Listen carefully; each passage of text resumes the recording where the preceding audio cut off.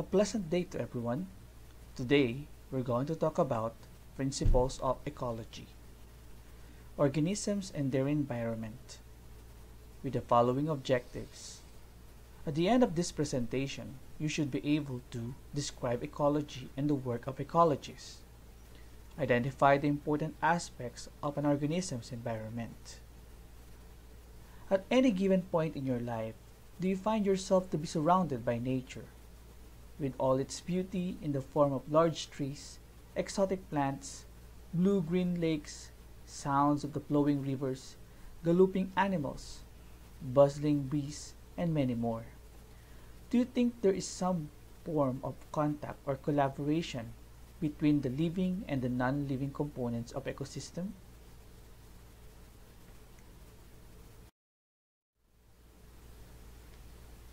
Let's define ecology.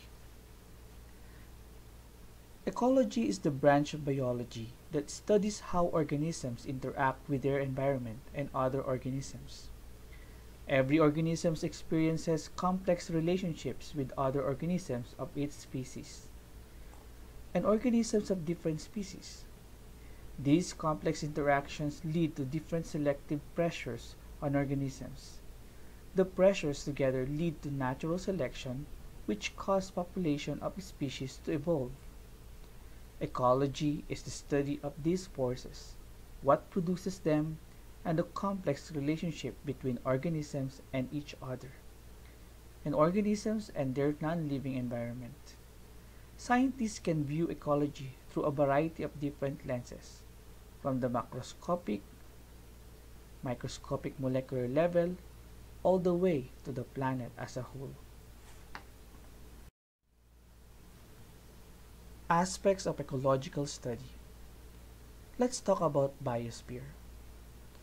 Biosphere is relatively thin life supporting stratum of Earth's surface extending from a few kilometers into the atmosphere to the deep sea vent of the ocean.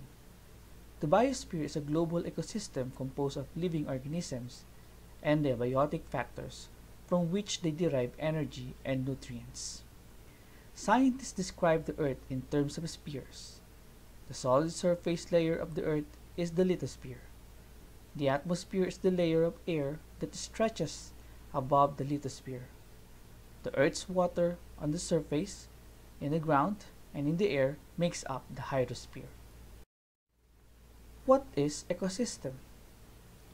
Living organisms seem to interact amongst themselves and with the physical environment.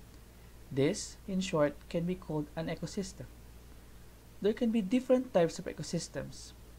The biosphere, for example, can be a global ecosystem. It all depends on the different components and the extent to which you want to define this space to consider it as an ecosystem. There are different components of ecosystem living things are affected by two factors. Biotic components of ecosystem. The, there are two main components of an ecosystem which are in constant communication with each other. They are the biotic components and the abiotic components. Biotic components of ecosystem, whereas the living organisms or the living components of an ecosystem are called the biotic components. Some of these factors include plants, animals, as well as fungi and bacteria. These biotic components can be further classified based on the energy requirement source. Producers, consumers, and decomposers are the three broad categories of biotic components. Producers are the plants in the ecosystem which can generate their own energy requirement through photosynthesis in the presence of sunlight and chlorophyll. All other living beings are dependent on plants for their energy requirements of food as well as oxygen. Consumers include herbivores, carnivores, and omnivores. The herbivores are the living organisms that feed on plants. Carnivores eat only other living organisms. Omnivores are animals that can eat both plants and animal tissue. Decomposers are the fungi and bacteria, which are the saprophytes. they feed on the decaying organic matter and convert this matter into nitrogen and carbon dioxide. The saprophytes play a vital role in recyc recycling the nutrients so that the producers, meaning plants, can use them once again. Abiotic components of ecosystem. Abiotic components are the physical and or the chemical factor that act on the living organisms at any part of their life. They are also called as the ecological factors. The physical and chemical factors are characteristics of the environment. Light, air, soil, and nutrients from form the abiotic components of an ecosystem. The abiotic factor vary from ecosystem to ecosystem.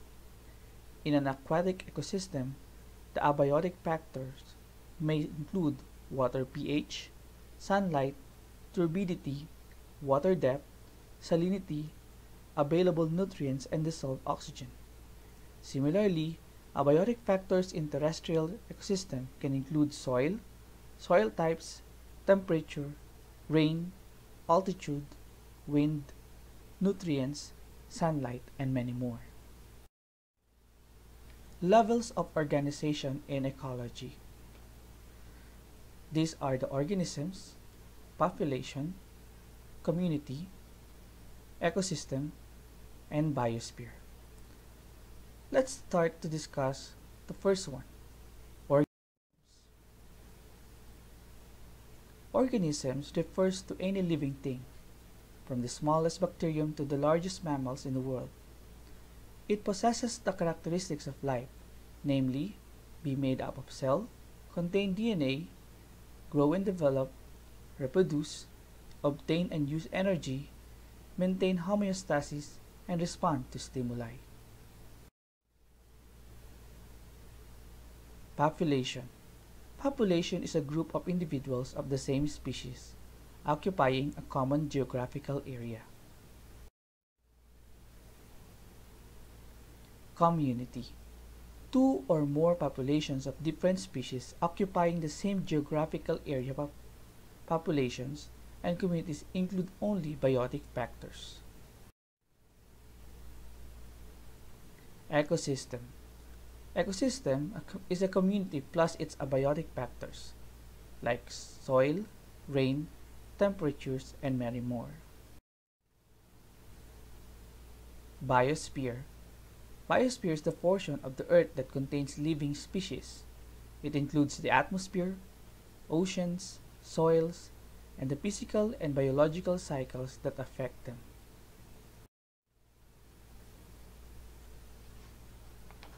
Ecology of communities. Community is defined as two or more population of different species occupying the same geographical area. Community ecology is the study of how different species interact within communities.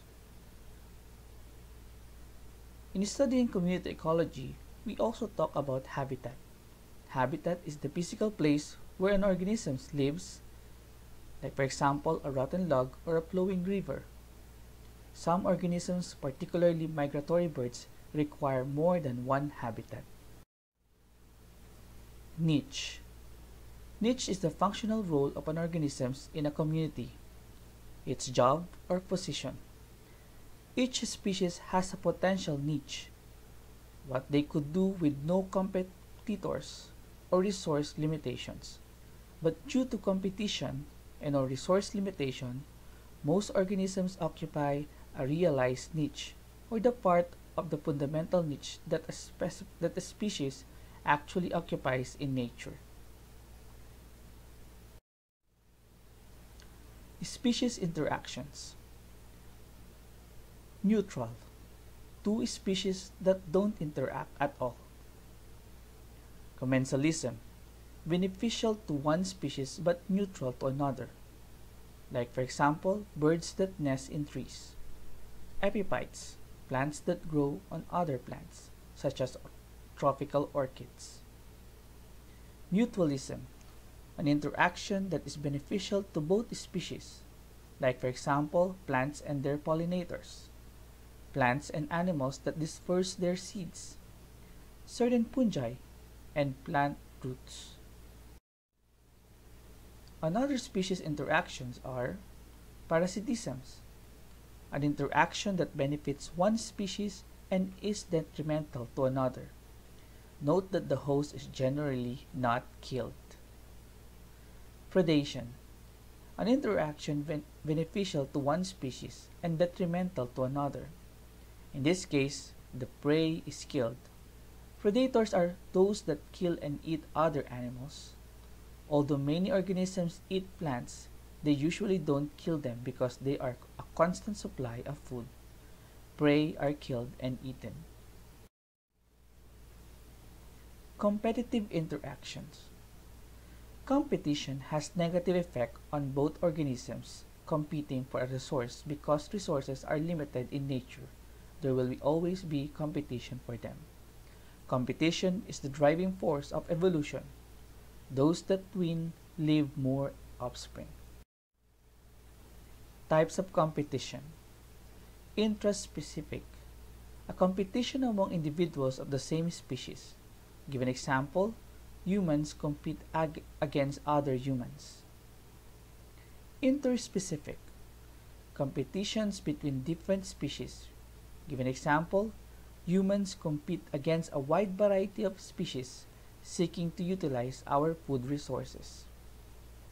The theory of competitive exclusion maintains that species who utilize the same resources cannot coexist indefinitely. The one niche, one species concept. Resource partitioning is the resource are divided, permitting species with similar requirements to use the same resources in different areas, ways, and or times. Again, these are the principles of ecology under the topic of organisms and their environment. I do hope we have met our objectives to describe ecology and the work of ecologists and identify the important aspects of an organism's environment. Thank you very much.